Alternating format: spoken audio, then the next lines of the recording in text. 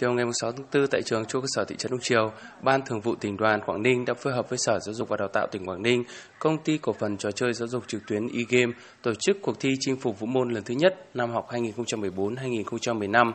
Đây là cuộc thi để lựa chọn ra những thí sinh xuất sắc nhất đại diện cho tỉnh Quảng Ninh sẽ tham gia vòng thi chinh phục vũ môn cấp toàn quốc diễn ra tại Hà Nội từ ngày 17 đến ngày 19 tháng 4.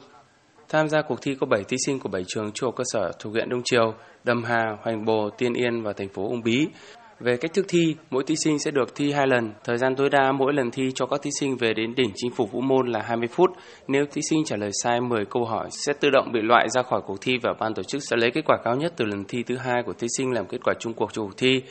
Kết quả, ban tổ chức đã trao giải nhất cho thí sinh Nguyễn Thế Hưng, học sinh lớp 9A trường Trung học cơ sở Tràng An, huyện Đông Triều. Ngoài ra, ban tổ chức đã trao giải cho 3 thí sinh đạt giải khuyến khích và 3 thí sinh đạt giải thí sinh tiềm năng. Thông qua cuộc thi đã tạo ra sân chơi lành mạnh, bổ ích, phát triển tư duy sáng tạo và góp phần đẩy lùi các trò chơi độc hại, bạo lực gây ảnh hưởng xấu đến các em học sinh.